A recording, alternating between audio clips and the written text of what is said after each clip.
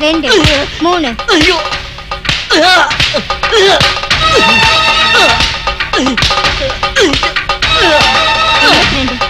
மூணு எண்பத்தி நாலு எண்பத்தஞ்சு எண்பத்தாறு. நீ இவ்வளவு அடிச்சுக்கிட்டு ரத்தம் வரவே இல்லையே.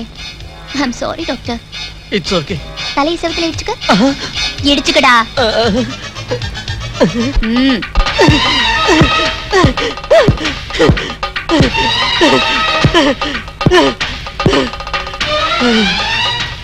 பேண்டேஜ் போட்டுக்கிட்டு வா. உன்கிட்ட ஒரு வேலை இருக்கு. உனக்கு கேள்வி பதில் படிக்கிறத தவிர வேற வேலையே இல்லையா? முதல் கேள்விய படிங்கப்பா. ஓர் அபாகியவதி ஊரு பேரு. எழுதல. நான் ஒருத்தரை காதலிச்சேன். முதல்ல எங்க கண்ணும் கண்ணும் சந்திச்சது. அதுக்கப்புறம் கைகள் சந்திச்சது. கட்டி பிடிச்சது. ரெண்டு டூயட் கூட பாடினோம். ஒரு மோகனமான ராத்திரில மழையில மாட்டிக்கிட்டோம். விதி ஜெயிச்சது. நாங்க தோத்து போயிட்டோம். சரியா ரெண்டு மாசத்துக்கு அப்புறம் வாந்தி வந்தது. இதை என்னன்னு சொல்றது? இதுக்கு வாரப்பத்திரிக்கை பதில் சொல்ல வேண்டியதில்ல. நானே சொல்றேன். அந்த பொண்ணு கர்ப்பம். புடி. கங்க்ராட்ஸ் பா. எதுக்கு? நீங்க தாத்தாவாக்க போறீங்கல்ல? அப்படின்னா? நான் தாயாக்க போறேன்ப்பா. வாயில விரல வச்சா கடிக்க தெரியாதன்னா இப்படி ஒரு வேலையை செஞ்சங்கிறத நீ நம்புறியா மாமா? நான் முன்னாடியே சொன்னேன்ல. இவர் ஒத்துக்க மாட்டாருன்னு. இவர் மானம் போனா போகட்டும். வாங்க நம்ம போலாம். போறது அவமானம் இல்ல. நம்மமான தள்ளி நீ. ஏண்டா அன்னைக்கு ராத்திரி கரண்ட் போகல?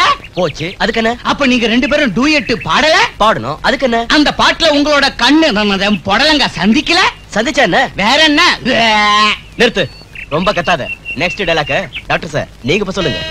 சின்ன வயசுல முதுகெலும்புல அடிப்பட்ட காரணத்தால மோகனால தாம்பத்திய வாழ்க்கை நடத்த முடியாது சார் ஆமா மாமா சின்ன வயசுல காத்தாடி பிடிக்க மரத்துல என்னப்ப வழிக்கு விழுந்துட்டேன் டேய் வழிக்கு விழுந்து என் பொண்ணுடா. இந்த டாக்டர் சொல்றது நம்ப மாட்டேன். இவன் சொல்றதுலாம் பொய். அப்ப என் அக்கா விஷயம் மட்டும்? டேய், அது வேற இது வேறடா. எது வேற எது வேற இல்லைன்னு எனக்கு தெரியாது. ஆனா உன் பொண்ணு வயித்துல வளர கருவுக்கும் எனக்கும் எந்த சம்மந்தமும் இல்ல. மோசம் மோசம். என்ன வேடிக்கை பாத்தியா மாமா? ஆ? அப்ப என் அக்காவுக்கு என்ன நடந்துச்சோ? அதே மாதிரிதான் உன் பொண்ணுக்கும் இப்ப நடந்திருக்கு.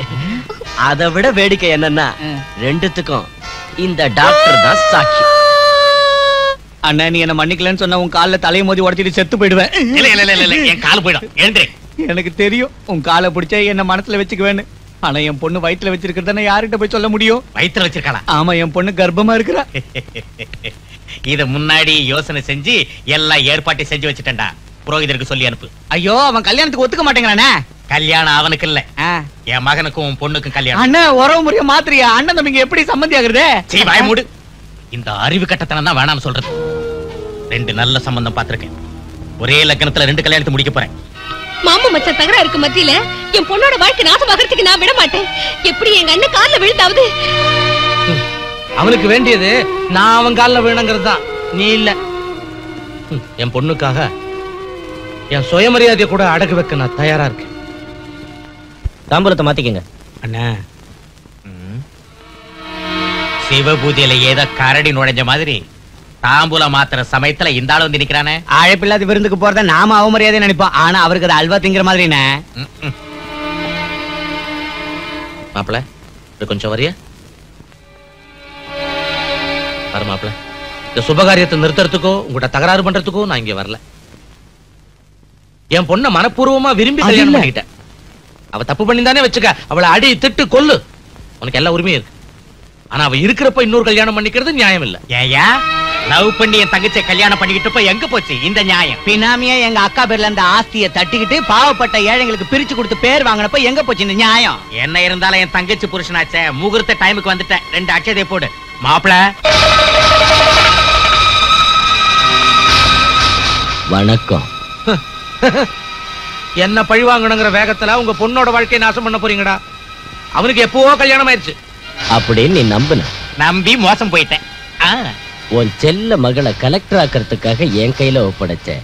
ஆனா நான் என் கையால அவ தலையெழுத்த மாத்தி போர் டுவெண்ட்டியா ஆக்கிட்டேன். இதுக்குதான் இந்த புத்தகத்தை பார்த்து மயங்கிட்டா இவரை நாங்க மாப்பிள்ளை ஆக்கிக்க போறோம். நீ- நீ என் பொண்ணை போர் டுவெண்ட்டி ஆக்கினியா? ம்.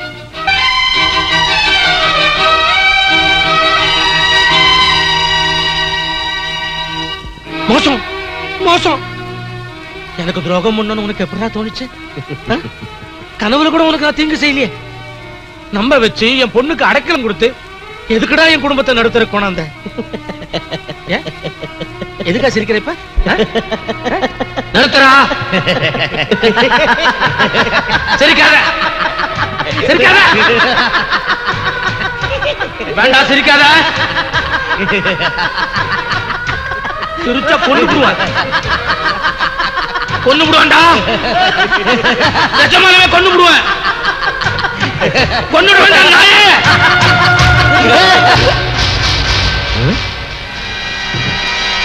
ஏய் செத்துட்டியா? டேய் செத்து போயிட்டான். ஐயோ. என்ன அப்படி சொல்ற? நீ தானே கழுத்து பிடிச்சு அமுக்குன. அண்ணா போலீஸ்க்கு போன் பண்ணிட்டா? சீக்கிரம் போலீஸ் கூப்பிடு. நீ தான் கொலை பண்ண. கூப்பிடு சீக்கிரம். நீ தான் கொலை பண்ண. ஐயோ கொண்டுட்டானே ஐயோ. மாப்ள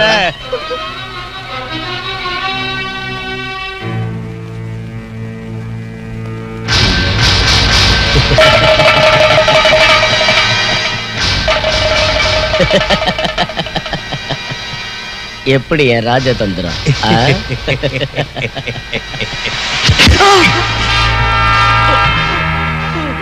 ஹலோ இது அரசியல் தந்திரம். நான் தான் அவனை கொலை செஞ்சேன். மகாலட்சுமி அவன் உயிரோட இருக்க கூடாது பொண்ணோட வாழ்க்கையை நாசம் பண்ண அயோக்கியர உயிரோட விடவும் கூடாது. அதனால தான்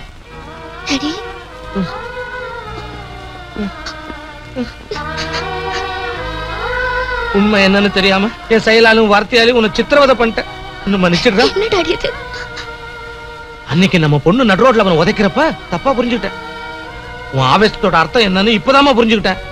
அதனால தான் அதனால தான் அந்த சண்டாளனை கழுத்து நெரிச்சே கொண்டுட்டேன். இல்லைங்க ஐயா. அவனை நீங்க கொலை பண்ணல. அந்த கண்ணையன் தான் அவனை கொன்னுட்டு அந்த பழிய உங்க மேல போட்டுட்டான். உங்களை குற்றவாளி ஆக்கிட்டு பையனை கல்யாணம் பண்ண ஏற்பாடு பண்ணிட்டு இருக்கான். அஸ்வினி இந்த கிராமத்து ஜனங்களுக்காக எவ்வளவோ நல்ல காரியம் செஞ்சிருக்க. உன்னை பெத்த அப்பனா? இல்ல. பெத்த அப்பனா இல்ல. இந்த ஊர் ஜனங்கள்ல ஒருத்தனா கேக்குறேன். ராஜேஸ்வரி வாழ்க்கையை காப்பாத்து தாய். கல்யாணம் நடக்காது. நடக்க விட மாட்டேன்.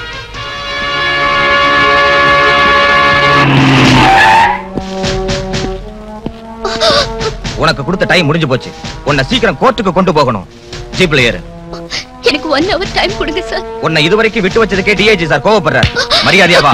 என்ன நம்புங்க சார் சார் நான் போகல என் தங்கச்சி வாழ்க்கை நாசமாயிடும் சார் உன் கதையை நம்ப நான் தயாரா இல்ல.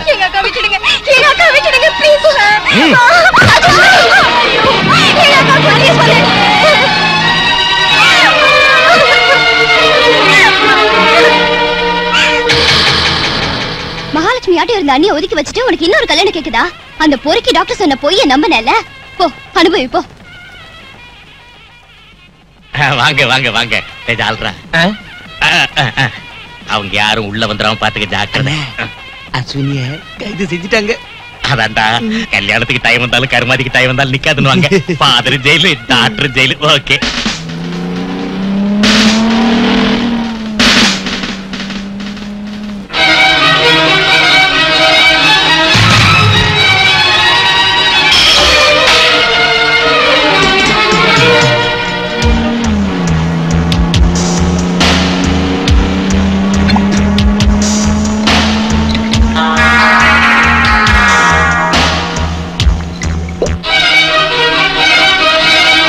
அடிச்சுன்னு வாங்க ஓம்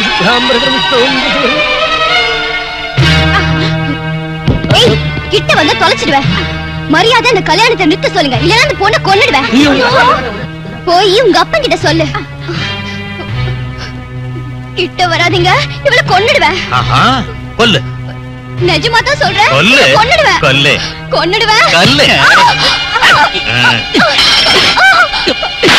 సర్వమంగళ మాంగళ్యే శివే సర్వార్థ సాధయే చరణ్యే త్రయంబకే.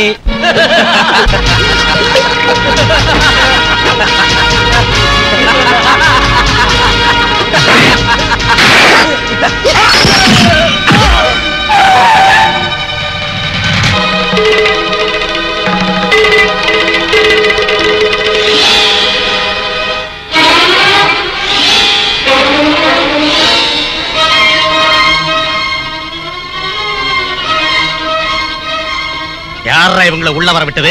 இங்க பார் அந்த தாலியை கொடு. கொடுக்க மாட்டேன். இப்ப இந்த கல்யாணம் நடக்க கூடாது மாப்பிள என் பொண்ணு கழுத்துல இருக்கிற தாலியை முதல்ல அறுத்துட்டு அப்புறம் அவ கழுத்துல தாலி கட்டு. அவசியம் ஏற்பட்ட உன் தாலியை எடுத்து அந்த தாலியை கட்ட வைப்பேன். தந்துரு. ஏய் என்னடா பாக்குறீங்க? தாலியை பிடிக்கிட்டு வெளியே துரத்துங்க.